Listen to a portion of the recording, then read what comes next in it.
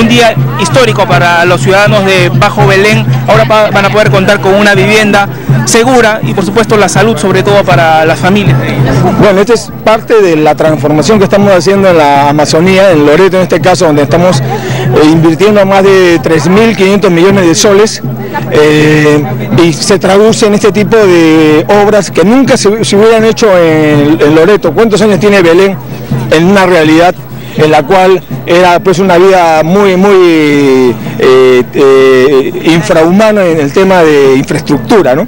Eh, hoy día estamos dando una, transformación, lo mismo los programas sociales que hemos creado y que están en todas las comunidades, lo mismo son los proyectos de desarrollo que estamos haciendo en, Loreto, el asfaltado de la carretera que llega hoy día de, Nieva, Santa María Nieva a Sarameriza, es una forma de los pueblos del Latén, del Marañón, Alto Amazonas, de tener un acceso, una conectividad con el resto del país, los vuelos que estamos ya implementando para que hayan vuelos comerciales, lo que es eh, el, Sistema Nacional de Becas, Beca 18, entre otros programas, es, es, una transformación que se está haciendo en la Amazonía, en Loreto, el puerto de Nueva Reforma, la carretera de acceso de Yurimaguas, etcétera. ¿no? Entonces, esto es parte de este proceso de transformación y estas casas las estamos dando con título de propiedad.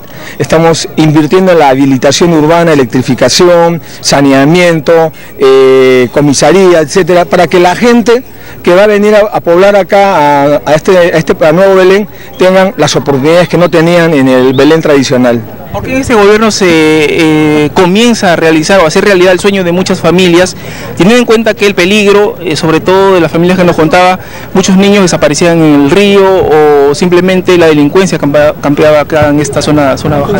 Yo creo que es un tema de voluntad política y de priorizar la plata, porque plata ha habido. ¿No? Eh, lo que pasa es que cada gobierno imprime sus propias prioridades. ¿no? Para, en el caso de, nuestro gobierno, la prioridad ha sido la, Amazonía, porque entre otras razones es la región más grande del país. Es eh, más del casi el 60%, aproximadamente el 60% de todo el territorio nacional es Amazonía. Pero en la Amazonía solo vive el 29% de la población porque no hay oportunidad, no hay Estado, no hay presencia del Estado. Entonces lo que estamos haciendo es llevar la presencia del Estado a fin de que la gente que, vive en la Amazonía, la siguiente generación, se queden en la Amazonía y, y hayan oportunidades de desarrollo en la Amazonía.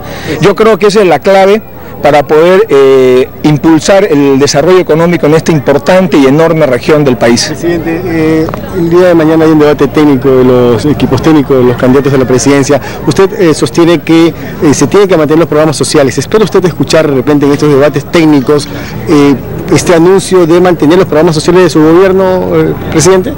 yo espero que que efectivamente eh, las, eh, las, propuestas eh, en los debates y en las actividades de los candidatos, escuchemos las propuestas y sobre todo las políticas que van a continuar en la siguiente administración, por ejemplo la política social, ¿no?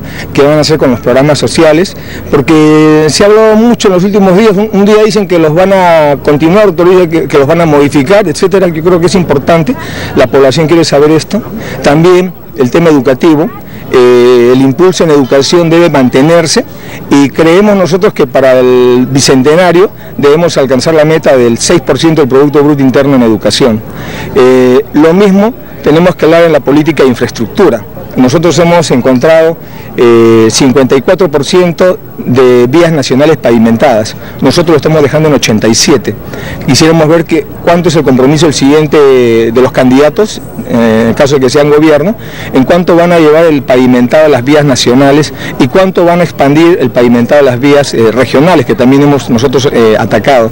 lo otro es la política de diversificación productiva. Tenemos, vamos a inaugurar 20 desembarcaderos pesqueros artesanales y estamos dejando otro monto similar, otra cantidad similar para el siguiente gobierno, además de los CITES. Hoy día estamos yendo a verificar el sitio Loreto, para el sitio Iquitos, para ver cómo está, y esto lo inauguraremos, me imagino, máximo en 30 días. Queremos también que ese, ese tipo de políticas se hagan referencia en las actividades de los candidatos. se deja entrever que eh, la Fuerza Armada no había eh, querido facilitar combustible a un candidato, otro sí, eh, para visitar el BRAEN. ¿Usted tiene conocimiento del tema? ¿Cuál es la participación de la Fuerza Armada ahora mismo en la, la campaña política? El Comando Conjunto ya aclaró, ha, aclarado de que no es cierto lo que se afirmó, echándole la culpa a la, a la Fuerza Armada eh, de una actividad de un candidato o candidata de campaña. ¿no?